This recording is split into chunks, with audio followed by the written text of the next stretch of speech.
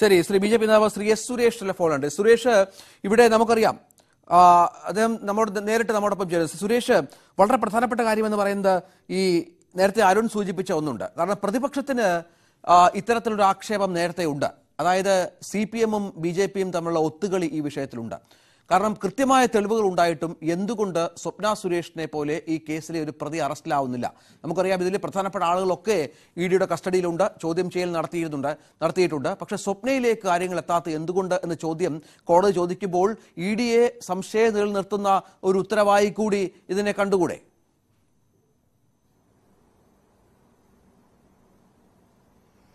അല്ല രഞ്ജിത്തെ ഇവിടെ ഈ വിധിയുടെ ഏറ്റവും പരമപ്രധാനമായിട്ടുള്ള ഒരു വശം എന്ന് പറയുന്നത് രണ്ടര വർഷം മുമ്പ് ഈ കോടതി ഈ എന്താ കള്ളക്കടത്ത് അതുമായി ബന്ധപ്പെട്ട വിഷയങ്ങൾ വരുന്ന സമയത്ത് മുഖ്യമന്ത്രിയുടെ ഓഫീസിന് ഇതുമായിട്ട് ബന്ധമുണ്ട് എന്ന് പറഞ്ഞവരെ മുഴുവൻ ആക്രമിക്കാനും അവരെ അവഹേളിക്കാനും അവർക്കെതിരെ ഒരിടത്തുമില്ലാത്ത വിധത്തിലുള്ള നടപടികൾ എടുക്കാനും തയ്യാറായിട്ടുള്ള മാർക്സിസ്റ്റ് പാർട്ടിയും പിണറായി വിജയൻ മുഖ്യമന്ത്രിയും ഇന്ന് സമ്പൂർണമായിട്ടും വെട്ടിലായിരിക്കുകയാണ് ഹൈക്കോടതിയുടെ പരാമർശം ഉണ്ടായതിലൂടെ. കാരണം മുഖ്യമന്ത്രിയുടെ പ്രിൻസിപ്പൽ സെക്രട്ടറി നമുക്കെല്ലാവർക്കും ലോകത്തുള്ള എല്ലാവർക്കും അറിയാം മുഖ്യമന്ത്രിയുടെ പ്രിൻസിപ്പൽ സെക്രട്ടറി ആക്ട് ചെയ്യുന്നത് ഓൺ ബിഹാഫ് ഓഫ് മുഖ്യമന്ത്രിയാണ്. മുഖ്യമന്ത്രിക്ക് വേണ്ടി ആക്ട് ചെയ്യുന്ന ആളാണ് മുഖ്യമന്ത്രിയുടെ പ്രിൻസിപ്പൽ സെക്രട്ടറി. അപ്പോൾ കള്ളക്കടത്തിൽ മുഖ്യ ശിവശങ്കറിന് പങ്കുണ്ടെങ്കിൽ അത് മുഖ്യമന്ത്രിക്ക് വേണ്ടിയാണ്. ഡോളർ കടത്തിൽ ശിവശങ്കറിനുള്ള പങ്ക് മുഖ്യമന്ത്രിക്ക് വേണ്ടിയാണ്. അതുപോലെ തന്നെ ഇത്തരത്തിൽ ഈ ലൈഫ് പദ്ധതിയിൽ ശിവശങ്കറിനുള്ള പങ്കും മുഖ്യമന്ത്രിക്ക് വേണ്ടിയാണ് എന്ന്. മുഖ്യമന്ത്രി എത്ര തനിക്ക് ഇതുമായി ബന്ധമില്ല എന്ന് പറഞ്ഞാലും ഈ ലോകത്തുള്ള എല്ലാവർക്കും ബോധ്യമായിട്ടുള്ള കാര്യമാണ്. എന്നിട്ട് പോലും ഈ ആരോപണം ഉന്നയിച്ചവരെ അധിക്ഷേപിക്കാനാണ് സി പി എമ്മും മുഖ്യമന്ത്രിയും തയ്യാറായത്. ഇന്ന് ഹൈക്കോടതിയുടെ പരാമർശത്തോടുകൂടി ഒരു കാര്യം വ്യക്തമായിരിക്കുന്നു. മുഖ്യമന്ത്രി അപകടത്തിലേക്കാണ് പോകുന്നത്. മുഖ്യമന്ത്രിക്ക് ഈ ഈ ടേം പൂർത്തിയാക്കാൻ സാധിക്കാത്ത സാഹചര്യങ്ങളിലേക്കാണ് ഈ കേസ് പോകുന്നത് എന്നതിന്റെ വ്യക്തമായിട്ടുള്ള ഒരു സൂചനയാണ് ഇന്നത്തെ ഹൈക്കോടതിയുടെ പരാമർശത്തോടുകൂടി ലഭിച്ചിരിക്കുന്നത്. പിന്നെ രഞ്ജിത്ത് ചോദിച്ച ചോദ്യം. രഞ്ജിത്തെ ഇപ്പോ നമുക്കറിയാലോ ഈ ലൈഫ് മിഷൻ കേസുമായിട്ട് ബന്ധപ്പെട്ട കാര്യങ്ങൾ നമ്മുടെ മുമ്പിലേക്ക് വരുന്നത് ഈ കള്ളക്കടത്ത് കേസിന്റെ അന്വേഷണത്തിൽ ഇ ഡി നടത്തിയ അന്വേഷണത്തിനിടയിലാണ്. സ്വപ്ന സുരേഷും ശിവശങ്കരന്റെ ചാർട്ടേഡ് അക്കൗണ്ടന്റും ചേർന്ന് ഒരു ഒരു അക്കൗണ്ട് ഓപ്പൺ ചെയ്ത് അതിലേക്ക് ഒരു കോടി രൂപ മാറ്റിവിട്ടു എന്നുള്ള ആ കണ്ടെത്തൽ നടത്തിയത്. അപ്പോൾ ഈ കേസ് തന്നെ ഇ ഡി ആണ് പിടിച്ചിരിക്കുന്നത്. കേന്ദ്ര ഏജൻസികളാണ് ഈ ലൈഫ് മിഷൻ തട്ടി പാവപ്പെട്ടവന്റെ പിച്ചച്ചട്ടിയിൽ കൈയിട്ട് വാരി തട്ടിപ്പറിക്കുന്ന മാർക്സിസ്റ്റ് പാർട്ടിയുടെ ഈ കൊടും ക്രൂരത പിടിച്ചിരിക്കുന്നത് കേന്ദ്ര ഏജൻസികളാണ്. ആ കേന്ദ്ര ഏജൻസികൾ അവർ യഥാർത്ഥത്തിൽ ലൈഫ് മിഷൻ അന്വേഷിക്കാൻ വന്നവരല്ല. ഈ ലൈഫ് മിഷൻ അന്വേഷിക്കാൻ വന്ന് ഇത് പിടിക്കപ്പെട്ടപ്പോൾ ഉടൻ തന്നെ സംസ്ഥാന സർക്കാർ എന്താണ് ചെയ്തത്? ഇത് വിജിലൻസിനെ അന്വേഷിക്കാൻ ഏൽപ്പിച്ചിട്ട് മുഴുവൻ ഫയലുകളും ഒറ്റ രാത്രി കൊണ്ട് കള്ളന്മാർ കൊണ്ടുപോകുന്നതിലെ പോലെ കേരളത്തിലെ വിജിലൻസ് ജീപ്പിൽ കയറ്റി കൊണ്ടുപോയി. അതിന്റെ തെളിവുകൾ പൂർണമായിട്ട് നശിപ്പിക്കാൻ ശ്രമിച്ചു. ഇന്നും ആ ഫയലുകൾ കേന്ദ്ര ഏജൻസികളുടെ മുന്നിൽ കൊടുത്തിട്ടില്ല എന്നാണ് ഞാൻ മനസ്സിലാക്കുന്നത്. അതോടൊപ്പം തന്നെ കേന്ദ്ര ഏജൻസികൾക്കെതിരെ എഫ്ഐആർ ഇട്ട് കേസെടുക്കാൻ പോലും പിണറായി വിജയൻ തയ്യാറായി. എത്രടത്തോളം പുള്ളി വിറച്ചു വിരണ്ടു എന്നതിന്റെ ഉദാഹരണമാണിത്. അവസാനം ഇതേ ഹൈക്കോടതി ഇടപെട്ടിട്ടാണ് കേന്ദ്ര ഏജൻസികൾക്കെതിരെ സ്വപ്ന സുരേഷിന്റെ വാദമുഖങ്ങൾ വച്ച് കേസെടുക്കാൻ പോയ പിണറായി വിജയൻ സർക്കാരിന്റെ ആ എഫ്ഐആറിനെ ചുരുട്ടി മടക്കി എന്താ? വേസ്റ്റ് ബോക്സിലേക്ക് ഇട്ടത്. ഇതൊക്കെ ചരിത്രമാണ്. അപ്പോൾ കേന്ദ്ര ഏജൻസികൾക്ക് ഇത് ഒരു വിമർശനം എന്ന് പറയുമ്പോൾ സാങ്കേതികമായി വിമർശനമാണ്. സംശയമില്ല.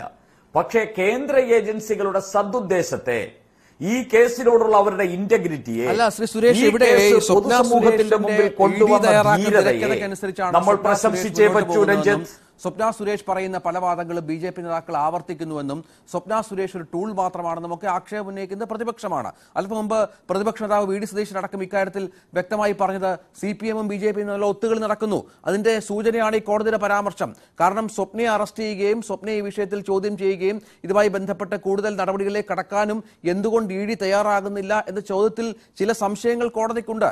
കേന്ദ്ര ഏജൻസികളെ അങ്ങനെ വെള്ള പൂശാൻ ശ്രമിക്കുന്നില്ല കോടതി ഈ വിഷയത്തിൽ. അന്വേഷണത്തെ ശിവശങ്കറിന്റെ ജാമ്യാപേക്ഷ തള്ളിയെങ്കിൽ പോലും സ്വപ്നയുമായി ബന്ധപ്പെട്ട് ശിവശങ്കറിനോട് കാട്ടിയ അതേ നിലപാടുണ്ടാകാത്തത് എന്തേ എന്ന ചോദ്യത്തിന് പിന്നിൽ മറ്റു ചില വ്യാഖ്യാനങ്ങൾ നമുക്ക് കണ്ടുകൂടെ?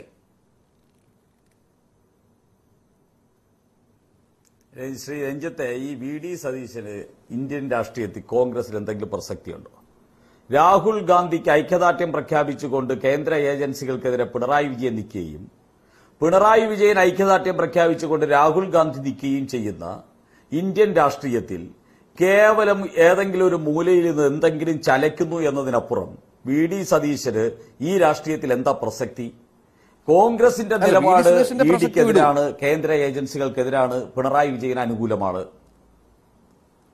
പിണറായി വിജയൻ കേന്ദ്ര ഏജൻസികൾക്കെതിരാണ് ഇ ഡിക്കെതിരാണ് സി ബി ഐക്കെതിരാണ് രാഹുൽ ഗാന്ധിയോടൊപ്പമാണ് അപ്പൊ ഇതിനിടയിൽ കിടന്ന് ഈ കേരളത്തിലെ ജനതയെ വിഡ്ഢിയാക്കാനല്ലാതെ വി ഡി സതീശൻ മുഖ്യമന്ത്രിയുടെ പ്രീതിപക്ഷ നേതാവായിട്ട് ജീവിച്ചു പോകുന്നു എന്നതിനപ്പുറം ഈ പറയുന്ന വാക്കിൽ ഒരു പ്രസക്തിയുമില്ല.